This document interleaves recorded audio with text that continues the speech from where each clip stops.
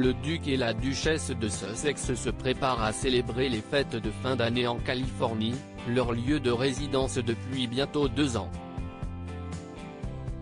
Cette année, la mère d'Archie, 2 ans, et de Lilibet, 6 mois, s'est rendue non loin de Montaquito où se situe sa villa pour faire ses achats de Noël. Elle a été aperçue en ville le mercredi 15 décembre, selon les informations du Daily Mail.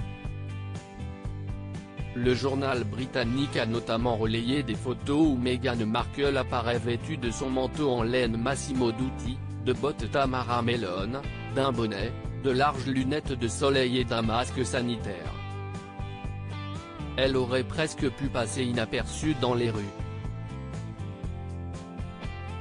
L'épouse du prince Harry s'est tout d'abord rendue chez Pierre Lafont Co, une épicerie chic. Puis chez Poppy, une boutique pour enfants. Pour finir chez The Dawson Grass, un magasin d'ameublement et de décoration. Meghan Markle et le prince Harry vont fêter Noël en Californie. Accompagnée de son garde du corps, Meghan Markle a acheté de nombreux articles dans les magasins. Impossible de savoir si certains sont destinés aux membres de la famille royale britannique. D'autant plus que le duc et la duchesse de Sussex ont déjà indiqué qu'ils resteraient en Californie pour les fêtes de fin d'année. Selon l'Express UK, le frère du prince William devrait tout de même fêter Noël à distance avec sa famille.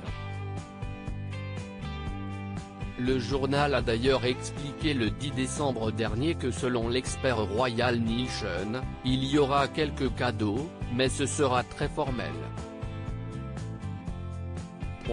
Disons simplement que quoi qu'il s'envoie, ce sera à distance. Une situation très triste quand on sait que la reine Elisabeth II est toujours très affaiblie et a plus que besoin d'être entourée par sa famille pour son premier Noël sans le prince Philippe.